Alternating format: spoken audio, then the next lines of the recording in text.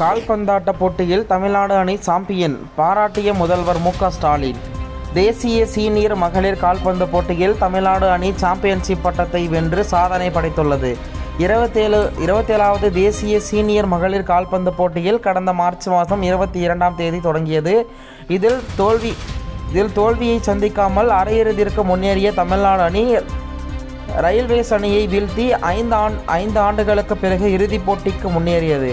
இதனைத் தொடர்ந்து பஞ்சாப் மாநிலம் லூதியானாவில் நடைபெற்ற இந்தி இறுதிப் போட்டியில் தமிழ்நாடு ஹரியானா அணிகள் பல பரீட்சை நடத்தினர்.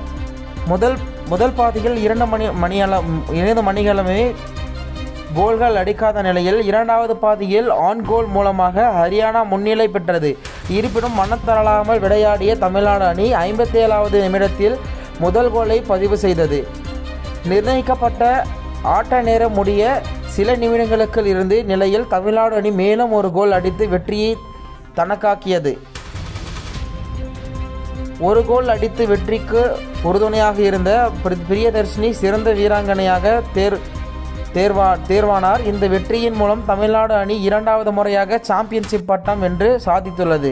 இந்த நிலையில் தேசிய சீனி சீனியர் மகளிர் கால்பந்து அணிக்கு முதலமைச்சர் மு க ஸ்டாலின் வாழ்த்து தெரிவித்து பாராட்டியுள்ளார். இது குறித்து அவர் பதிவிட்டுள்ள அம முதலமைச்சர் உங்கள் அர்ப்பணிக்கு திறமை மற்றும் குழுப்பணி எங்களை பெருமைப்படுத்தியுள்ளது. நீங்கள் தொடர்ந்து உயர்ந்து எங்கள் எங்கள் அன்பு மல மா- மாநிலத்திற்கு மேலும் பாராட்டுகளை கொண்டு வர வேண்டும் என பாராட்டியுள்ளார்.